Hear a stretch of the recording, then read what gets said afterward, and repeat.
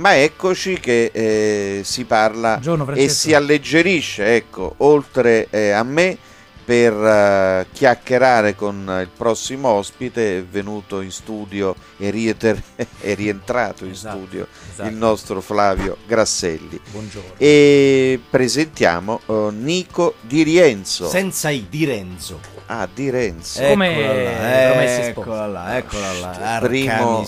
Che poi Nico Di Renzo non dice nulla. Magari se Primo- diciamo Pablo e Pedro, forse Eh, vabbè, qualcosina. eh, Li prendi tutti. forse dopo, qualcosina. dopo il, eh, l'errore avrei Eh, detto, eh, signori, eh, Buongiorno a è il tutti, Nico- buongiorno Buongiorno, Francesco Nico. e buongiorno Pablo e Pedro. Flavio. Buongiorno Nico, buongiorno. Buongiorno. Allora, buongiorno, qui per eh, parlare non solo di tutta la vostra attività sempre più, eh, come dire, mh, insistente. Prolifica, State- eh, sì. Allora, eh, state al Teatro Greco Sì, per la commedia Il Comicidio. Comicidio, Che cos'è il comicidio. Comicidio? Perché praticamente mh, funziona così, ci sono due detective che fanno parte di un'agenzia investigativa e eh, la loro peculiarità è quella di mh, indagare su casi un po' particolari, ovvero chi sta uccidendo il matrimonio, chi sta uccidendo la lingua italiana, chi sta uccidendo la politica e nella fattispecie al teatro greco loro ehm, indagano su chi sta uccidendo la comicità ed ovviamente eh, indagati sono appunto Pablo e Pedro che hanno a disposizione l'ora e mezza, l'ora e 40 di spettacolo per dimostrare al pubblico, che in questo caso è anche giuria sovrana, che non sono loro che stanno, eh, che stanno uccidendo la comicità.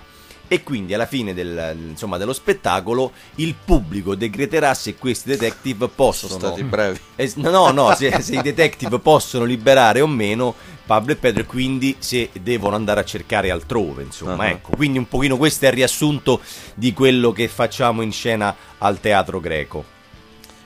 Io ho tantissime curiosità, se vogliamo andare off vai. dalla, Vai. dalla- dalla Parlando un po' della vostra vita professionale, se puoi dircela, io ho parlato con un po' di, di comici romani, voi che Ah. avete esplorato anche l'area Zelig. Sì, C'è questa polemica tra la comicità romana e la comicità milanese, ma soprattutto, tra, allora io ascoltando alcuni comici romani, poi non farò il nome, sì. mi hanno detto che manca Mm. un po' a noi, a voi soprattutto, intesi come gruppo appunto di, di comici romani, la stessa organizzazione È che hanno vero. loro sopra, perché noi come talento in teoria potenzialmente potremmo essere migliori, ma loro sono organizzati meglio. Che dici? Assolutamente d'accordo, perché secondo me, ma non è che lo dico io, lo dice la storia, Ah. perché comunque se tu prendi eh, la storia della comicità degli ultimi 50 anni, ti faccio i nomi di eh, eh, Sordi, Troisi, Benigni, eh, Totò, De Filippo, eh, non vorrei, non me ne voglia qualcuno se me ne dimentico, comunque tutti i grandi centro-sud. Mhm. Eh, quindi a livello, a livello qualitativo, secondo me.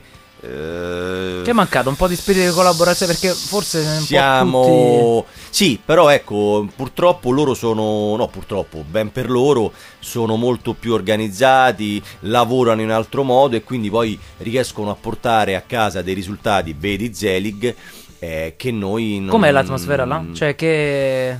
Ma eh, non voglio fare polemica, No, assolutamente. Però diciamo che mm, è un po' settaria, Mm. se mi passi il termine. Perché Cioè comunque... che si intende? Beh, eh, nel senso che mm, ci sono tanti discorsi poi sotto che magari forse non è il caso di, di affrontare in questa sede, però eh, cioè, è- strano che eh, in una trasmissione di eh, 10 puntate dove girano 50-60 comici ce ne stanno 5 romani, cioè io non Mm. credo che eh, il comico romano eh, sia inferiore, ma a livello qualitativo e di numero soprattutto rispetto a Verona, Bergamo, Milano, Bologna, Siracusa, Palermo, Reggio Calabria, Bari, Sì, insomma. sì, Quindi, eh, però eh, loro sono stati bravi a creare questo e probabilmente da un sì, punto di loro. vista esatto, sì. Dal punto di vista invece dell'espressività comica, cioè avete avuto, avete- perché io ti, ti- ti parlo sempre da eh, telespettatore, per esempio io ho visto Brignano tante volte Enrico, a teatro e l'ho visto a Zelig, Sì. Eh, fa molto ridere in tutta Italia, però a me per esempio fa ridere meno quando lo vedo a Zelig, cioè lo vedo molto Ma limitato sai nei cosa? contenuti. Eh, questa è una peculiarità un po' di tutti, perché comunque tu, eh, se vai a vedere uno spettacolo a teatro, hai la tua ora e mezza, due, due ore e mezza per esprimerti a più- 3,60. Mhm. In televisione purtroppo oramai è tutto mordi e fuggi, quindi c'hai due minuti, tre minuti, cinque minuti, poi soprattutto per una coppia è ancora più difficile. Però anche stessi testi, eh? Anche stessi testi visti a teatro, Ma, visti sai, a ci ma, anche, ma anche la condizione che tu hai, in conto è che tu stai Sai, in un teatro 5, insieme. certo. No, ma se tu stai in un teatro dove tu vai predisposto, paghi un biglietto per cui ti metti su e Sì, sai sì. che vai a vedere uno spettacolo Come comico, no. stai in mezzo a 500, 1000, 2000 persone che ti trascinano, un conto è che stai a casa, è 11 di sera, mezzo addormentato, Mm. è un po' È diverso. anche la condizione mia, quindi dici, del telespettatore. sì, no, Ok. del telespettatore in generale. Ma anche l'artista forse che Io infatti Poi, volevo andare su quello. su questa polemica sta. eh, Ma il Roma live, Milano il no? live sicuramente è, un'altra è di- cosa. sì, è un'altra cosa, è un'altra cosa. forse si sentono a disagio non si sentono a casa propria è possibile No, no, no, no, no, non è questo, non è questo, ma eh, ripeto, un conto è che tu, eh, cioè il contatto con il pubblico, ma io parlo, ti parlo da, da chi sta sul palco, è Sì. diverso rispetto alla scatola della televisione eh, e quindi poi anche il, il telespettatore stesso ha una percezione diversa di quello che viene fatto. Quindi ecco perché tu dici magari lo stesso testo che faccio in televisione, lo vedo a teatro, su- sul telespettatore c'ha una, una, una riuscita diversa. Perché c'è stata tutta una serie di componenti che fanno sì che sia così, insomma. Sì, voi avete conosciuto anche il Seven Show, giusto? Eh, noi siamo nati col Eh, Seven Show. appunto. Mm, E televisivamente parlando, noi siamo nati Quello con il in Seven teoria Show. doveva essere il nostro Zelig, giusto? Secondo meno. me sì, infatti prima lo stavo dicendo, ma mi è passato di mente. Comunque secondo me sì, perché qualitativamente non aveva nulla a, a che... Fa ridere oggi, esatto, rivederlo- esatto, rivederlo esatto, esatto, esatto, esatto. Quindi sì, noi abbiamo cominciato con il Seven Show che era 98-99, l'edizione che presentava Teo Mammucari e poi da lì insomma sono passati tutti perché i Mamma mia che impressione, Gabriele Cirilli, Antonio Giuliani, ehm, eh, Gabriele Cirilli l'ho detto, Max Giusti, eh, Lo stesso Mammucari che presentava. Teo che presentava, noi, Ranelli, il Modifica, Nino Taranto, no. per cui tutta una serie di... Gnometto ma- Band. Gnometto, ma poi anche l'edizione prima, i Fighi d'India, Forrest, Vero, vero, eh, vero. Manera, che poi... poi- Manera, che Leonardo- faceva il...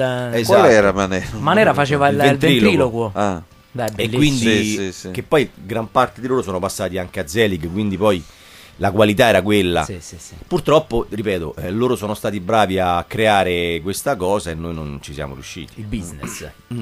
Il business. ecco come mai secondo te non si riesce è un problema che mh, non ci sta il, il collante non c'è il chi mette insieme le persone non c'è più quella Sì, anche se secondo me è anche una questione di mentalità dei, dei comici stessi, degli artisti stessi, perché loro, eh, così come per esempio è riuscito a fare molto bene Salemme a Napoli, loro eh, eh, eh, si fanno forte del gruppo. Mentre invece purtroppo a Roma ognuno pensa all'orticello suo e, Questo è infatti proprio.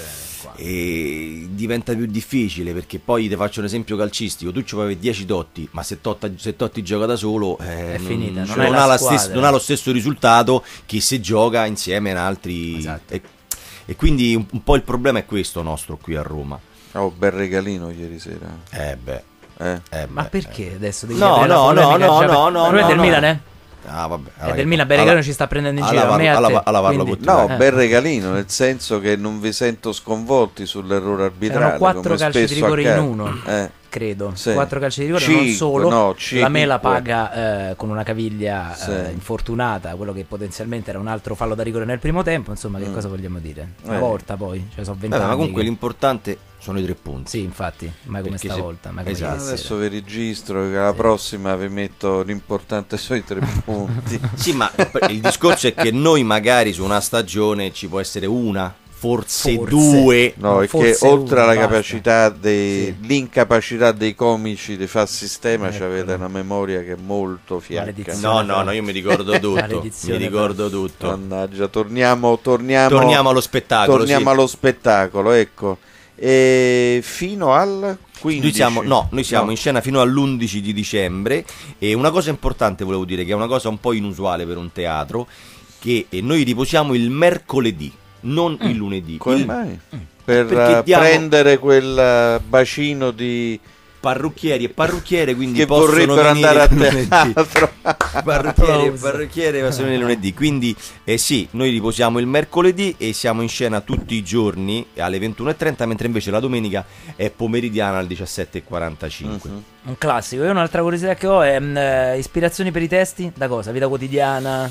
Sì, Sì. vita quotidiana, satira di costume, satira sociale, eh, parodie, però non è che c'è un- No. una legge, un copione che eh, fa sì insomma che tu scrivi un testo o ti viene un'idea. Altra tutti vostri oppure avete anche amici e collaboratori per quanto Ci riguarda? sono dei Ci sono. collaboratori che comunque... Ovviamente tutte le idee sono ben accette, quindi siete Sì, aperti alle... sì, sì, assolutamente, Ok. assolutamente. Anche se poi comunque entrare nel meccanismo di una coppia a, a- livello difficile. autorale parlo, sì, non è facile, perché È poi ognuno ha i, suoi canoni, ha i suoi tempi, e le sue dinamiche, quindi insomma diventa un po' più complicato rispetto a, a- scrivere un testo per, eh, per un monologo, insomma. Qual è l'aspetto della realtà che vi sollecita di più?